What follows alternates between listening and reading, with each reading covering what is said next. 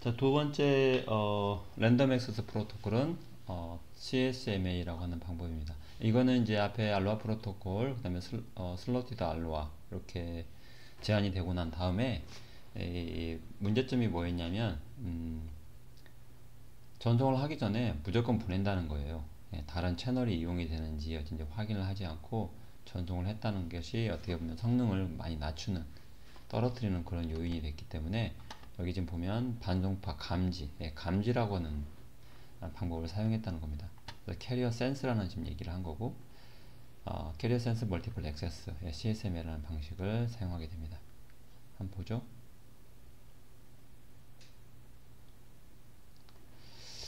어, 갑자기 그림이 등장해서 좀 그런데 일, 일단 CSMA는 carrier sense인데 이거는 지금 이제 아까 알로하 프로토콜은 무선망이었고 여기는 이제 유선망인 경우를 갖다가 얘기를 해보도록 하겠습니다. 유선망에서도 우리가 버스 토폴로지 앞에 버스의 망의 연결 같은 구조에서는 신호를 전송을 하게 되면 그 신호가 모든 스테이션한테 다 전송이 되죠. 지금 이 그림이 그런 개념을 좀 표현한 겁니다. 지금 같은 경우는 가정을 어 station이 T라 T1이라는 시간에 전송을 합니다.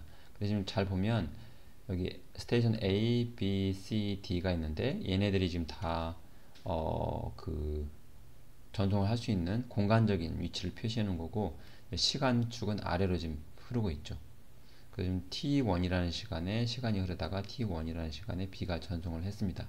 전송을 지금 계속 하고 있으니까 프레임을 계속 전송을 하고 있으니까 이 신호가 어, T1이라는 시간에 이때 이제 전송이 되지만 여기 약간 이제 차이는 있네요. T1 여기, 여기인데 신호가 이게 퍼져 나가는 거죠. 퍼져 나간다는 게 기울어진 이유는 A에 도착했을 때는 그만큼 시간이 지난 후에 도착이 되는 거잖아. 예, 전파 지연 시간.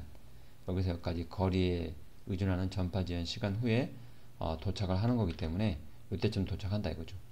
그럼 여기 D까지 도착하는 시간은 더 이제 기울어져서 더 지나서 이때 도착을 하게 되는 거고요. 그래서 좀 개념적으로 잘 보면 여기 파란색으로 된 거는 B의 프레임이 전송되는 시간이고요. T2라는 시간에 잘 보면 이 T2라는 시간은 아직 어, 떤 상황이냐면 B의 신호가 아직 C에 도착하지 않은 상태입니다. 즉 C가 전송을 할 때 이 라인의 상태를 보는 거죠. 라인의 상태를 봤더니 아직 다른 애들이 쓰고 있지 않다라고 판단을 해서 전송을 하는 거예요. 이해되시나요? 물론 아까 B도 어, 전송을 하기 전에 캐리어 센싱 여기 이 라인을 확인한 후에 아무도 사용하지 않기 때문에 프레임을 전송을 시작한 거고 T1에 T2의 C도 캐리어 센싱을 해봤는데 이 시간에는 아직 B의 신호가 도, 도 착하지 않은 거죠. 그래서 어, 아무도 쓰고 있지 않다라는 걸 확인해서 전송을 하게 됩니다. 물론 약간 지난 후에 B의 신호가 도착이 됐고 어, C는 이제 전송하기 전에는 확인하지만 전송 중에는 링크 상태를 확인하는지 아니까 프레임을 계속 전송하겠죠. 그럼 충돌이 지금 계속 일어날 거고 그 충돌이 계속 일어나는 상태를 지금 이렇게 음영으로 지금 표현을 해놨습니다. 이걸 여러분들이 잘 이해가 어, 돼야 될 것 같고요. 충돌이 지금 발생을 했어. 그래서 지금 여기 보면 어, A는 B는 전송을 이때 끝냈고요. 예, C는 전송을 이때 끝낸 거죠. 어쨌든 이때 끝내든 이때 끝내든 어, 계속해서 이 라인 A 입장에서 봤을 때는 이 라인은 계속 지금 B하고 C가 이용이 된 거고 어쨌든 B와 C는 충돌이 나서 그 프레임은 다 쓸 수 없는 상황이 되겠죠. 이해되죠? 이쪽뿐만 아니라 전체적으로 이쪽 C, D 입장에서 보면 D 입장에서도 어, 처음에는 C의 신호가 도착을 했다가 충돌된 B와 C의 신호가 도착할 거고 어쨌든 끝나는 타임이 이때가 된다 이거죠. 그래서 이 그림에서는 지금 충돌 전에 센싱을 하고 보낸다. 그렇지만은 전동하고 난 다음에 충돌은 어, 피할 수 없다라는 거죠. 그럼 어쨌든 전송하기 전에 한번 확인을 해보는 거 이게 기존의 알로하 프로토콜하고는 차이점이다 라고 보시면 되겠습니다. 자 이거를 약간 이제 이 캐리어 센서 멀티플 액세스의 취약 시간 충돌이 일어날 가능 시간은 언제냐 이렇게 좀 어, 보여주고 있는데 여기 지금 음영으로 나는 부분이요.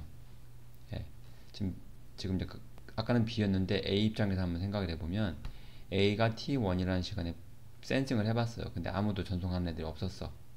즉 라인이 놀고 있었다 이거죠. 자 그러면 이때 프레임을 전송합니다.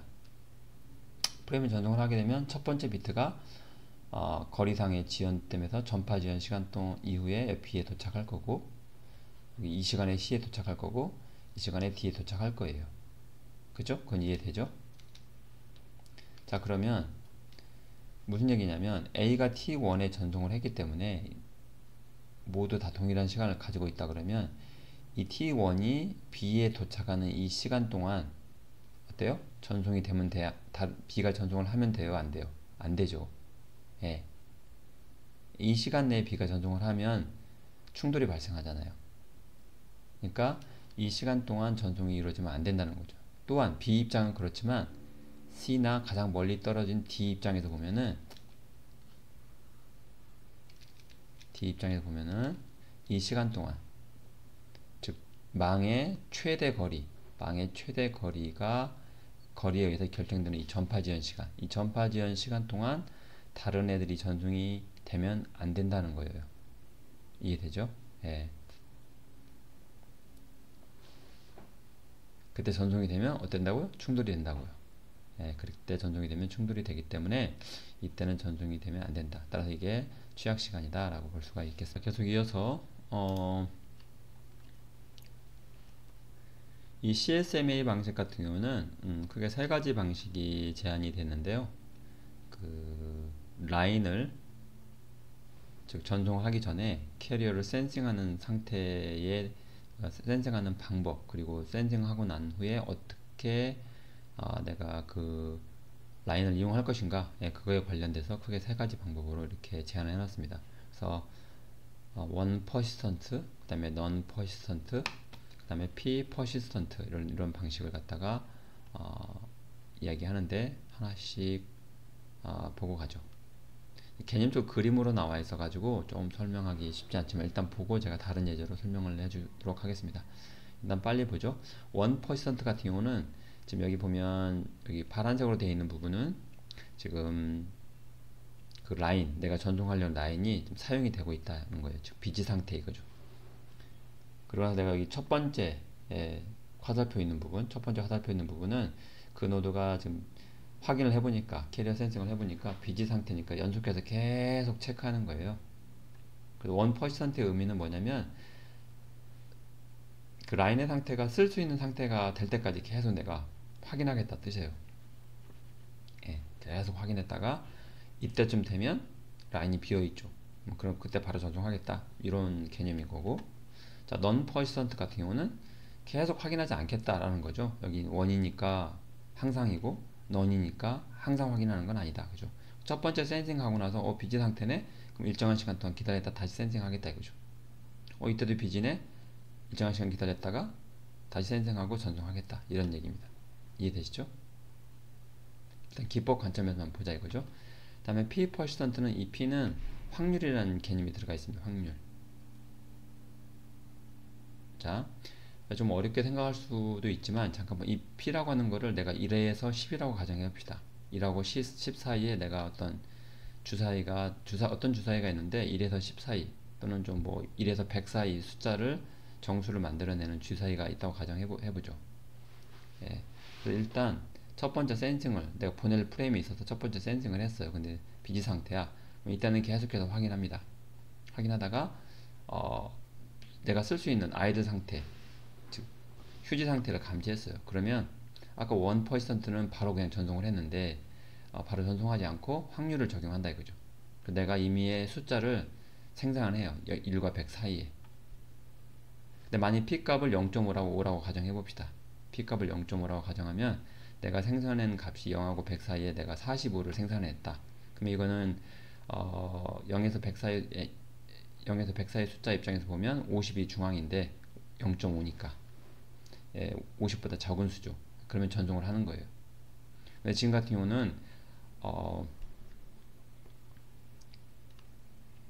아 지금 같은 경우는 어, 반대로 좀 제가 설명을 했네요. 아, 아니 맞습니다. 지금 내가 생성한 값이 R인데 어, 49라고 하는 거는 약 한 0.49 정도 되잖아요. 그래서 만약에 이제 5, 어, 그 0.5보다 작은 값이면 전송을 바로 하는데 지금 여기 케이스 같은 경우는 이렇게 어, 전송을 안 한 걸로 봐서 지금 케이스는 그래요. R 값이 50보다 큰 값이 나온 어, 상태입니다. 50보다 큰 값이 나온 상태라고 보, 면 되겠고 난수를 만들었는데 50보다 더 큰 값을 내가 만들어냈다 이거죠. 그러면 또 대기합니다. 대기했다가 다시 이제 또, 또 확인을 해보는 거예요. 근데 확인해 봤더니 또 busy 상태인 거예요. 예, 그러면 일단 또 backoff time 충돌이 일어날 수 있기 때문에 또 backoff time 우리 앞에서 backoff time 확인해 봤죠? 임의의 시간 동안 다시 기다린다고 하는 거 임의의 시간 다시 기다렸다가 다시 또 체크합니다. 예. 근데 체크했을 때 역시 이때는 또 idle 상태예요. 어, 내가 쓸 수 있네? 예. 그러면 바로 또 확률을 또 적용합니다. 또 임의의 값을 만들어내는 거죠. 지금 여기 예제에서는 역시 마찬가지 50보다 큰 값을 어, 큰 값이 나왔나 봐요. 예, 그래서 전송을 못하고 다음 또 시도를 하게 되는 이런 방식입니다. 즉 확률을 확률에 의해서 내가 바로 전송을 할 수도 있고 그 B값보다 작으면 바로 전송할 수가 있고 크면 전송을 못하는 이런 방식입니다. 자 이렇게 설명하니까 여러분 잘 이제 개념이 잡기는 좀 쉽지는 않을 것 같아서 제가 다른 거를 한번 음, 준비를 해봤는데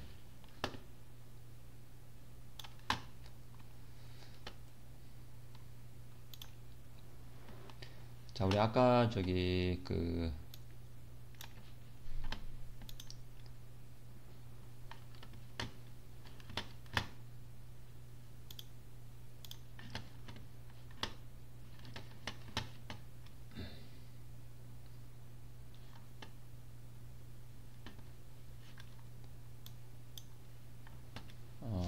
조금 제가 프레젠테이션 했는데 그걸 좀 취소해야 되겠네요 네, 이걸로 그냥 해야 되겠네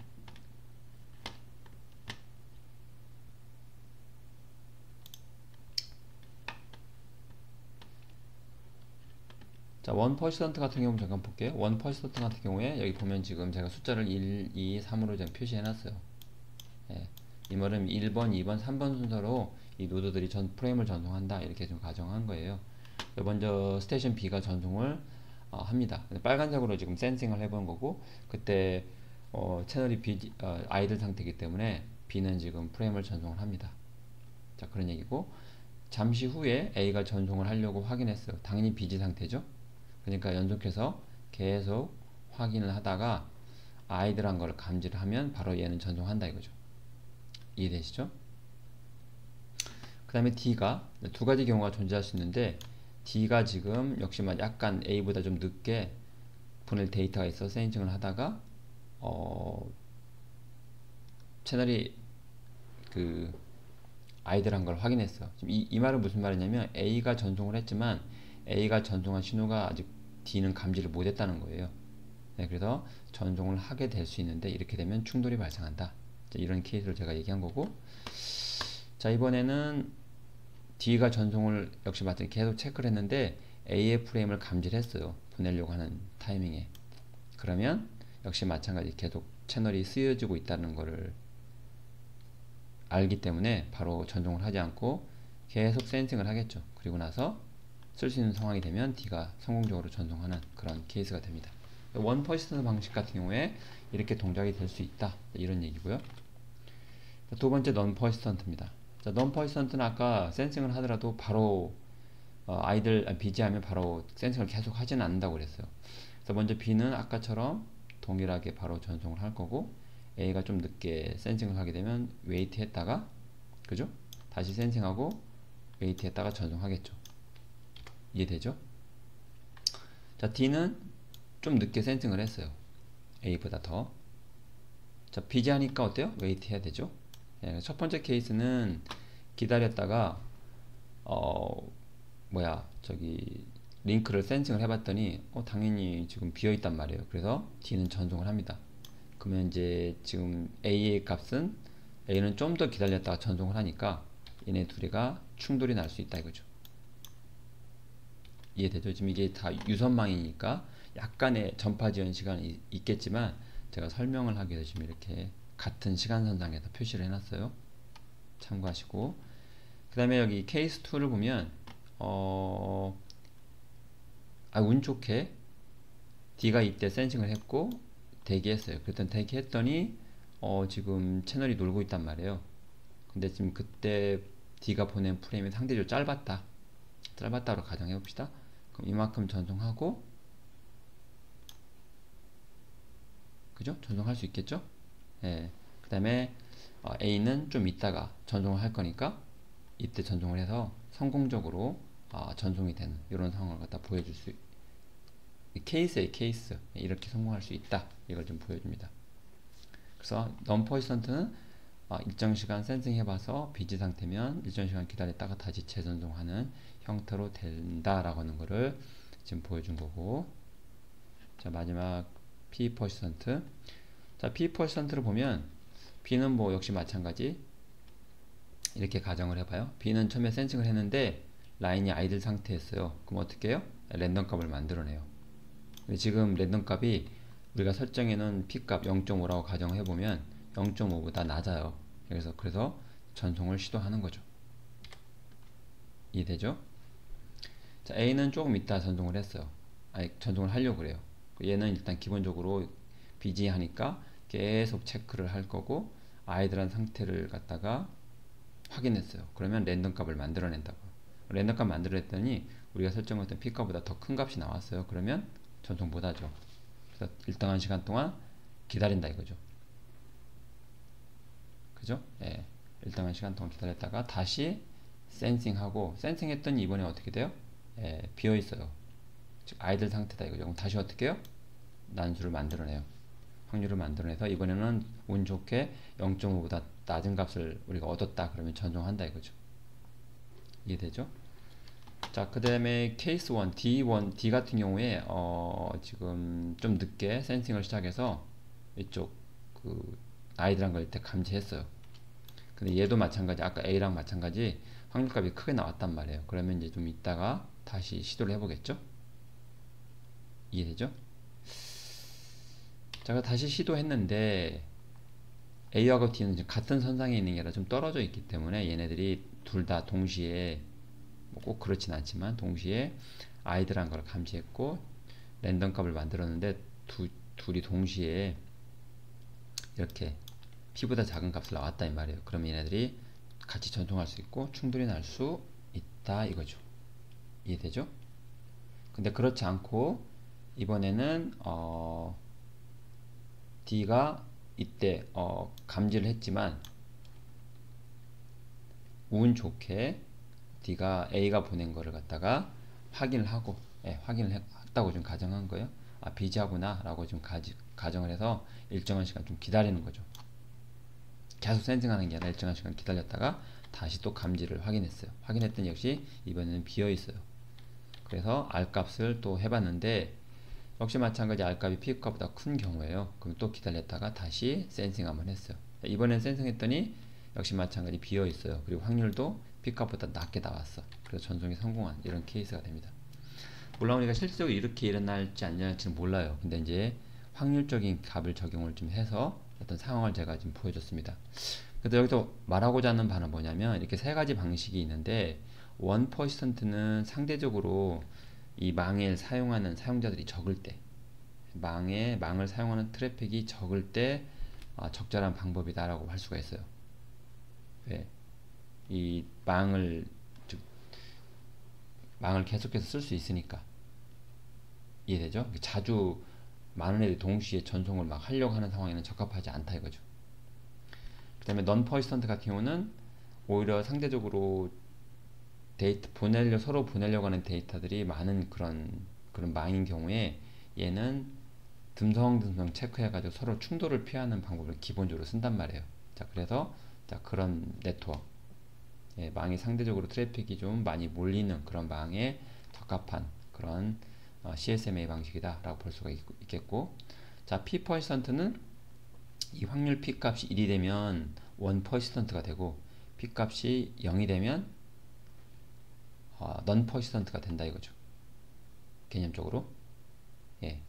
따라서 어, 그 앞에 1 퍼센트하고 non 퍼센트의 중간값 즉 P 값을 어떻게 하냐에 따라서 망의 어떤 상황에 따라서 트래픽의 상황에 따라서 적절히 뭔가 이렇게 제어를 할 수 있는 트래픽 양을 제어하거나 충돌률을 제어할 수 있는 그런 기법이 되겠습니다. 그 다음에 제가 이제 앞에 포아송 분포에 대한 얘기 잠깐 했었는데 포아송 분포는 약간 이런 특성을 가지고 있어요. 예, 그 어떤 어떤 특정한 지점에 도착할 수 있는 그 단위 시간당 도착할 수 있는 그 율이 있는데 도착률 그걸 갖다 남다라 그러고 이건 제가 설명을 하, 고 싶진 않고요. 일, 그 도착률이 있고 그 도착률이 t라는 시간 동안에 얼마만큼 도착률이 있을 때 몇 명이 도, 몇 개의 이벤트 또 몇 개의 사람 어떤 몇 개의 패킷 몇 개의 호출 이런 게 도착하느냐 이런 걸 갖다 확률적으로 표현해 놓은 그런 어, 확률 분포입니다. 그래서 이런 식으로 어, 동작이 되고 아까 이제 그 우리가 사용했던 거는 아무도 동, 도, 도착하지 않을 확률 확률은 이렇게 이제 확률이 계산이 된다라는 거고 우리가 아까 그 알로하 프로토콜에서는 요, 요 개념을 적용한 거다. 이렇게 여러분이 이해하시면 될 것 같아요. 그리고 이제 그거에 대해서 이제 풀어서 설명해 놓은 내용이 우리 책이 이제 밑에 배경에 이렇게 나와 있는데 제가 이 부분은 이제 포화성 분포를 기반으로 하고 있고 어, 평균적으로 어, 주어진 시간 동안에 어, 평균적으로 몇 개의 프레임이 도착을 하고 전송이 되고 그 다음에 그때 당시에 아, 다른 애들 다른 프레임은 전송되지 않을 그런 확률을 곱해주면 우리가 처리를 구할 수 있다라고 하는 거를 아, 지금 수학적으로 제가 음, 그 다른 책을 참고해서 설명을 하는 내용인데 아무튼 어, 참고하시기 바랍니다. 자, 이 정도 하겠습니다.